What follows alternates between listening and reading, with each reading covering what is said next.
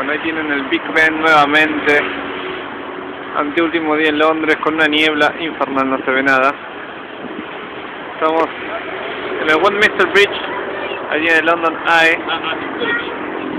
La gente está filmando, hace un frío de morirse y yo estoy acá. Espero que se esté viendo el Big Ben y si no, bueno. Para despedirme de este mini videito de Londres. Un beso grande y nos vemos en Buenos Aires. Chao. Also, goodbye fellows.